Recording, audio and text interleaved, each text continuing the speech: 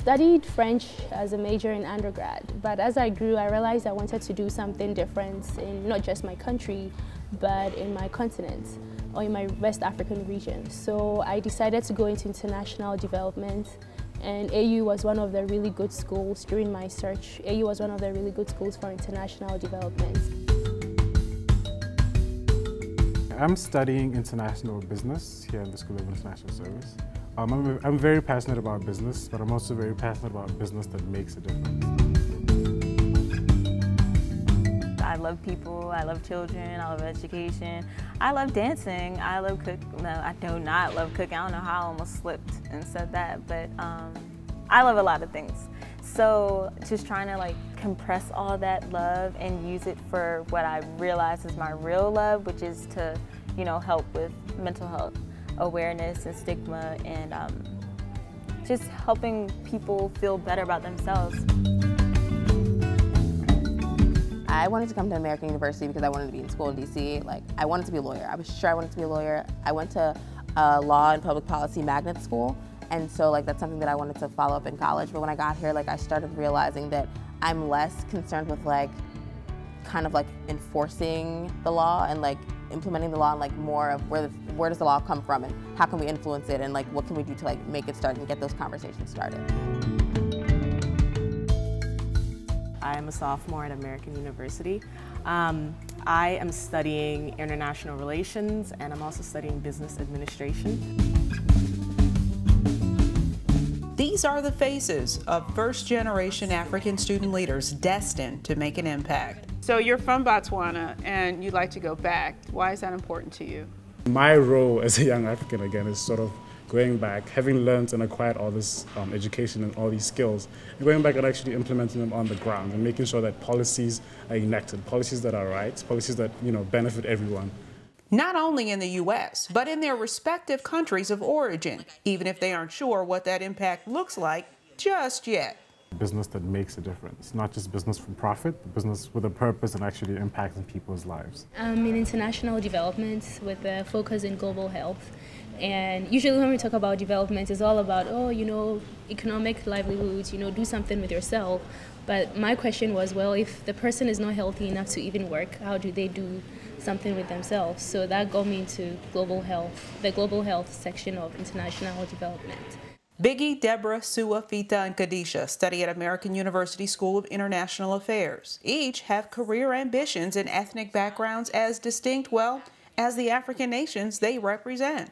Hello, my name is Deborah Sarpong, and I'm from Ghana, West Africa. Hi, I'm Fida Akernade, and I'm a first generation Nigerian. I'm Sua, and I am a African African American. Uh, I'm Khadijah Ba. I am from Sierra Leone. All fascinating in their own right, perhaps Biggie stands out most. America is perceived to be this um, glory land, you know, the promised land. And yes, he is named after that Biggie. My brother named me after Biggie the rapper. He really did? He really did. Seriously? And my parents... No African name for you? Yeah, hip-hop was a very popular thing for me growing up. My brother was heavily influenced by Biggie and Tupac, obviously. And, um, you know, he just named me Biggie. I was born in 1993, and that's when Biggie was also kind of hip. American influence is strong on the continent, especially in his democratically governed country of Botswana, but the perhaps prophetic name more aptly underscores his visionary persona. Botswana is actually one of the, it's a special country in Africa. There's never been any war. It's very democratic. The system itself is very well governed and um, it's very peaceful. Biggie is on a full academic scholarship as part of AU's Emerging Global Leaders Program. Having completed his studies in just three years, he graduates early this spring with an expected degree in international business and has big plans when he returns home. You see a lot of young Africans getting educated here. I mean, now there's a change. You see people going back, but you know, historically, you'd have people move out of Africa and stay. But sort of now you're seeing sort of my generation going back and trying to fit in. It's a bit difficult because you've been away for a few years and you don't really know what where to start really. So I mean, yeah, I totally agree with her that you know there should be like a movement where you're seeing people actually going into the ground and actually doing work. He's not the only one with sights set on the continent's emerging nations. I believe that um, if you're talking about change in Africa, it should basically come from the people themselves. It will be more long lasting that way, it will be more meaningful. So um, basically, it was out of this is your land and what are you doing to make a difference.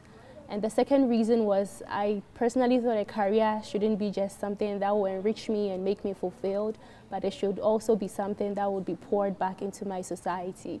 So the basic question for me was, how does my career impact my country? My role is, is like using my voice, but also putting a face to a problem. Um, especially like in the United States, like the treatment of black people in the United States is terrible. So using that as like I guess like the forefront of like relations in Africa, like it's very hard for me to imagine this country taking large like taking a lot of investment and putting it into an African nation which is full of people that are black when people here that are black are not treated well. I do have an interest in health, but also have an interest in education. And then after my second year, they got the new major of public health. So I declared a major in public health. And um, it took me a while to figure out what I wanted to do with that because it's such a huge field. But now I realize that I'm particularly interested in the field of mental health um, just because of my own personal experiences and the experiences of my family. Um, I just want to work towards making a more happy and healthy person. Like if you look at a lot of these African countries, like I went to Ghana for the first time last Christmas and I didn't know what to expect, but I'm just expecting the worst. Like, you know, I'm like, okay, is there gonna be internet or like am I like how am I gonna shop? Like I mean, unfortunately this is just like my view of what Africa is. And I get there, and it was the most beautiful place. And one thing that I will take from that experience was that the people were so happy. I am a uh, SIS and business admin major.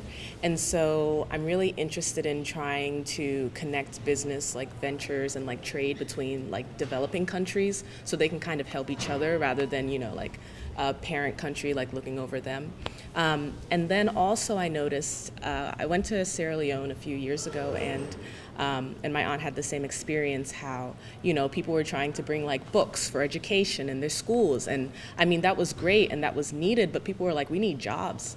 And that was like a really big thing for me trying to figure out how um, I can be in that, you know, that puzzle and, and that conundrum trying to figure out um, what I can do to help that. I've seen quite a bit um, just because my country went through a civil war, and then now uh, we're kind of trying to get over the Ebola uh, crisis going on. So I know that um, there's a point where the people that are here to help kind of leave.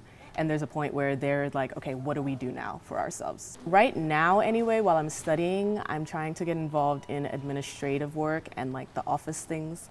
Um, but then when I graduate, I definitely want to go back for at least a year or two. Culturally speaking, the American experience is an important draw, particularly among those who are direct immigrants in the group. But while some cultural norms are an expected part of U.S. immersion and ties to African culture strong, it's clear to both citizens and non citizens that some barriers still need breaking down.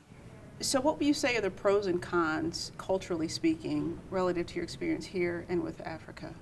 What I really, really enjoyed about the US is the idea of individualism and that you as a person, you, you as one person matter and that you have to grow as a person and learn a lot about yourself and pursue what you actually love to pursue, what you'd love to pursue. And that to me, I think, is something that is heavily needed in Africa. But I, one of the pros I find in Africa is sort of that family system. That you, you don't really have a lot of homeless people in Botswana, by the way, in South Africa, because you always have an auntie or an auntie's cousin's auntie somewhere mm-hmm. where you can stay. I think society here is very, very divided. And I think, obviously, not just race, even class and all that stuff. And we also have that in Africa, sadly. Um, so it's very difficult to sort of have an inclusive society that is free to open, is free to talk about issues that affect you know, every group of people in the society. They are as diverse as the makeup of the international school here at American University, but if there is one tie that perhaps binds this group of African students together, it's the notion of what's called a hybrid identity.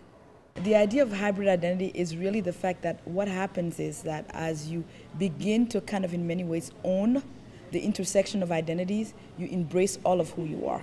And so you're no longer just you're no longer just X. You're X and Y, and you understand that those two things coming together is really what makes you somewhat unique in many ways, while at the same time it also binds you to other people. So, for example, I mean, I think as Sua mentioned, you know, a part of her for a period of time because she was raised within an, an, an African American environment, that's the identity that she embraced. And also, that's the identity that she could own because in the outside world, there was such a rejection of the African identity. But as she grew up and as she began to kind of in many ways be exposed to the African side, she began to own that as well but without rejecting the American side. And that's what a hybrid identity really is. While at times conflicted, these burgeoning trailblazers won't be defined by the masses or held back from what they see as a future filled with potential. And where do you see yourself 10 years from now? I'm really passionate about Africa. Everything I think about is Africa and about what I want to do in the future. Whenever I see a new technology, I think about how it can impact the a country in the continent and an industry in the continent. And um, I'm also very passionate about business. I do believe in you know making profit, but making profit that actually you know impacts people and makes a difference. And um, I think policy making, that's one of the reasons why I'm studying the international business here in the School of International Service. I think policy has to be very effective, policy has to be driven by data, and policy has to be very inclusive. And I think the three of those in 10 years, obviously, I might maybe see myself um, in government somewhere, or sort of maybe in the regional governmental bodies like you know the Southern African um, Development Community or the African Union. 10 years from now, um, probably in Congress. Whatever it is I'm doing, I know that I'm going to be happy. That's the first thing.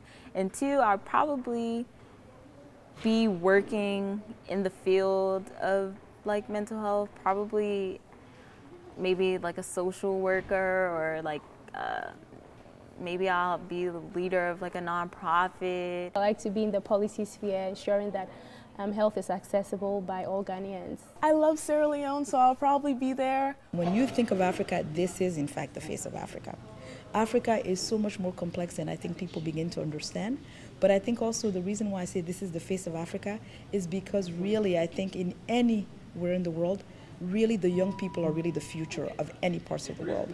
And the young people that you've had an opportunity to speak to are folks with aspirations. They're folks who really have big dreams, but also these are folks who really are in many ways investing in an education that hopefully can allow them to make the change that is very much needed in the societies that they're part of. So if you ask me as a sociology, if you ask me as an African, if you ask me now as an American, and if you ask me as an administrator who's dedicated 23 years to education, I have tremendous hope for the future. Because when I talk to our young people, I think they understand the complexity of issues, but I think more than that, they have the courage to want to really enact change, and that is exactly how change comes to be. And they all have hopes for a geopolitical landscape that, while far from perfect, will help make those dreams a reality for their generation as well as the next. Leaders that are innovative, leaders that are young, and leaders that understand how the world works. If we learn to respect each other as Africans, before we even ask for respect from outside, if we have leaders that actually respect us as young people, that respect the people that voted them into power, I think, you know, just basically respecting the people that, you know, you serve and understanding that you serve these people. You don't, they don't work for you, you work for them.